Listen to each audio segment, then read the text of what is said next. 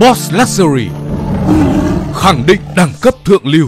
Chào mừng các bạn quay trở lại với Boss Luxury Channel. Và trong video ngày hôm nay thì chúng tôi sẽ giới thiệu đến với các bạn một chiếc đồng hồ tới từ thương hiệu Zenith. Thì ờ, cách đây một thời gian cũng tương đối tôi cũng đã làm một video về một chiếc Zenith và cũng chính là một chiếc Zenith thuộc dòng có ghi ở đây đó là El Primero.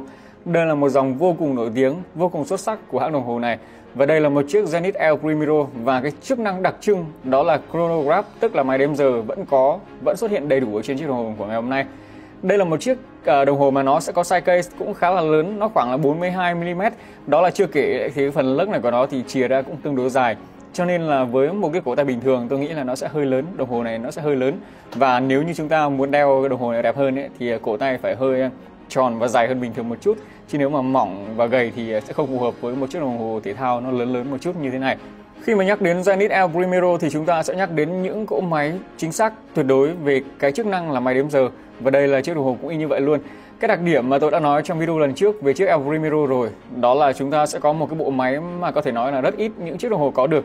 Bộ máy này có tần số dao động lên tới là 5 Hz tức là 36.000 VPH bình thường ra chúng ta chỉ thấy 3 Hz và 4 Hz 4 hack là phổ biến hơn, gồm có 28.800 VPH. Còn bây giờ chúng ta sẽ có một bộ máy tần số dao động lên tới là 36.000 VPH. Bình thường ra thì ít khi chúng ta thấy được những bộ máy như thế này. Và ngoài ra thì có rất rất nhiều đồng hồ trong top 5 hãng đầu thế giới vẫn sử dụng bộ máy chỉ có 3 hack mà thôi. Còn bộ máy của chiếc đồng hồ này thì nó lên tới là 5 hack. Toàn bộ những phần ờ, thân case của chiếc đồng hồ này thì nó làm từ thép và thép này được hoàn thiện khá là bóng. Các bạn có thể thấy đây là một chiếc đồng hồ mới cho nên nó rất là đẹp chúng ta sẽ có phần bóng hoàn thiện ở hai bên hông như này và thép có cả mặt sau nữa cũng hoàn thiện bóng luôn đó tên đầy đủ của chiếc đồng hồ ngày hôm nay đó là Zenith El Primero Chronograph và đằng sau có một cái từ đó là Full Open có lẽ cái từ đó nó sẽ biểu thị cho cái việc là cách thiết kế tương đối là skeleton của chiếc đồng hồ ngày hôm nay. Như chúng ta thấy thì khi nhìn vào cả mặt trước lẫn mặt sau, chúng ta thấy được toàn bộ những chi tiết bên trong của nó mà không bị phủ đi bởi một cái lớp màu sắc trong nào đó của cái mặt dial cả. Mặt dial này thì cũng chính là phần những phần vật liệu, những phần bộ máy bên dưới. Chúng ta sẽ có bên trong gồm có là 11 à, cọc số. 11 cọc số này thì nó khá là dày và đầu mỗi cọc số này nó sẽ có phần màu trắng là dạ quang. Riêng cọc số phía góc 6 giờ thì đây là ô cửa sổ ngày có màu đỏ và đây đang là số 9. Đi sâu vào bên trong hơn nữa thì chúng ta sẽ có ba mặt đồng hồ con và mặt đồng hồ con phía góc 9 giờ này là mặt đồng hồ cho kim dây nhỏ là kim dây thời gian thực. Tức là hiện tại kim dây đang chỉ cho thời gian mà chúng ta đang sống bình thường như thế này. Còn kim dây chính ở chính giữa này thì nó là chức năng của máy đếm giờ. Và máy đếm giờ thì à, đây là đếm giây, còn lại đếm phút thì sẽ có ở cái mặt đồng hồ con phía góc 3 giờ. Chúng ta sẽ có cứ đi hết một vòng của kim này sẽ là 30 phút và đếm giờ của máy đếm giờ đó thì nó sẽ là cái mặt đồng hồ con phía góc 6 giờ. Chúng ta đếm được tối đa là 12 tiếng đồng hồ. Còn lại thì ba cái kim ở chính giữa, như tôi đã nói, kim dây nhỏ với lại cái đầu màu đỏ này thì sẽ là kim dây dành cho chức năng chronograph còn lại thì hai kim giờ và phút thì à, đấy là cách để chúng ta xem giờ như bình thường thôi. Nó sẽ có hai cái phần dạ quang cũng tương đối dài nhìn rất rõ vào ban đêm. Như vậy là ngoài 11 cọc số ô cửa sổ ngày, ba kim chính giữa và ba mặt đồng hồ con thì chúng ta sẽ thấy được là những phần còn lại là những phần chìa ra của bộ máy và nhìn vào rất là đẹp. Cách hoàn thiện của những bộ máy này được tỉa tót khá là kỹ càng khi mà chúng ta thấy được những cái đường răng cưa, những cái chi tiết lộ ra, những cái bánh răng tất tần tật, tất cả đều rất đẹp trên cái mặt kính sapphire của chiếc El Primero này thì à, được in cái tên thương hiệu, đây là Zenith và dòng chữ El Primero được in luôn trên mặt kính sapphire chứ không phải in bên trong. Tại vì đơn giản là bên trong thì nó cũng không có mặt số nào đó nó phẳng để mà in được cái tên thương hiệu này lên cả. Và đó là toàn bộ cái nhìn về phía mặt trước. Về những phím bấm, với những nút bấm thì chúng ta sẽ có ba cái nút bên hông như thế này. Và cái nút ở góc 3 giờ là nút chính thì chúng ta sẽ có logo ngôi sao đặc trưng của Zenith và đây là cái nút để chúng ta điều chỉnh các chức năng của đồng hồ. Còn lại hai nút trên 2 giờ và 4 giờ thì đương nhiên là dành cho tính năng máy đếm giờ. Chúng ta có thể thử sử dụng cái nút này như sau. Đầu tiên thì kim dây này đang chạy, tôi ấn một lần nữa thì nó sẽ dừng. Đó, nó sẽ dừng lại. Và cái nút phía góc 4 giờ này sẽ đẩy cho cái kim dây về mo, tất tần tật 3 kim giờ phút giây của tính năng này về mo. Đó. Để sử dụng được cái núm chính này thì chúng ta sẽ xoay nó lên trên ở cái trạng thái ban đầu này để lên cót tay cho đồng hồ. Đồng hồ này có dự trữ cót à, khoảng là 50 giờ đồng hồ và đương nhiên là nó có lên cót tự động. Khi mà chúng ta nhích ra một chút thì cái nấc thứ hai này khá là khác biệt khi nó là một cái nấc để điều chỉnh cho kim phút thay vì điều chỉnh ngày như bình thường. Đó chúng ta xoay xuống dưới để điều chỉnh cho kim phút và nấc ngoài cùng lộn lại thì nó mới là điều chỉnh ngày hơi ngược so với một số đồng hồ khác. Chúng ta sẽ xoay để điều chỉnh ngày 10, 11, 12, 13 đó sau đó thì chúng ta sẽ ấn vào vị trí cũ để đảm bảo cho khả năng kháng nước lên tới là 100 mét của đồng hồ này.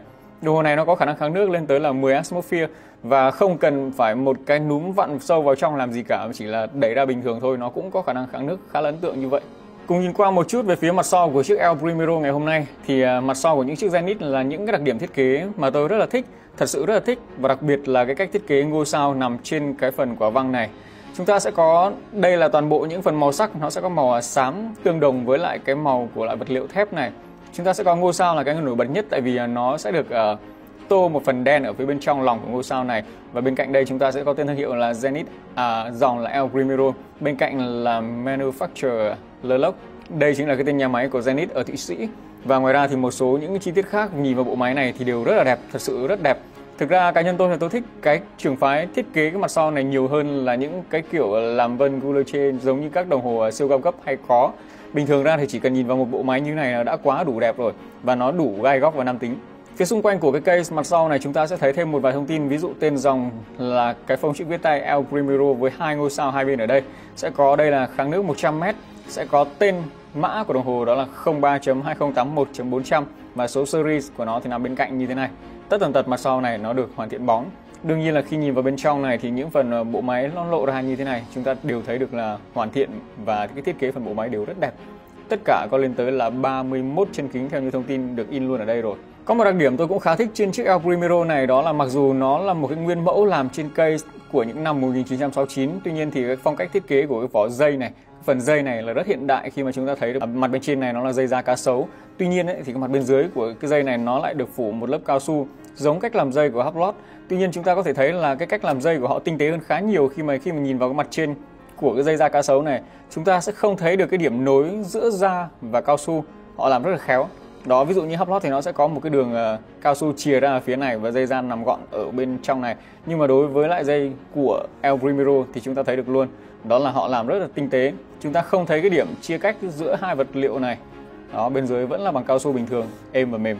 Về khóa của chiếc đồng hồ này thì nó là khóa gập và gập về hai bên giống dạng khóa bướm. Chúng ta sẽ có cái logo ngôi sao khắc nổi ở phía này khi mà chúng ta mở ra thì chúng ta sẽ hình dung được là nó sẽ sử dụng như thế nào đó đây là khóa bướm Cuối cùng thì đây là một chiếc đồng hồ mới cho nên nó sẽ đi kèm theo một cái mác, một cái tác bằng da như thế này và sẽ có dòng chữ Zenith với ngôi sao năm cánh được khắc chìm phía bên trên mặt da. Bên trong này chúng ta sẽ có một miếng dán chứa một vài thông tin ví dụ mã, một số cái tiêu chí và những cái chức năng của đồng hồ bên trong. Đó, cái mác này rất là đẹp, nó bằng da luôn. Và trên đây là những chia sẻ của chúng tôi về chiếc Zenith El Primero ngày hôm nay, một chiếc full open theo đúng như tên của nó. Và với chiếc đồng hồ này thì ờ, cũng hơi khó để một số người bình thường đeo với một cổ tay cũng bình thường tại vì size cây của nó lên tới là 42 mm cộng thêm là cái phần ờ, à, cái phần tai chia ra cũng tương đối dài. Đây thì sẽ đúng là một chiếc đồng hồ thể thao đúng nghĩa khi mà nó sẽ có phần size lớn, to lớn, nó có tính năng máy đếm giờ cũng như nhìn rất là mạnh mẽ và thể thao.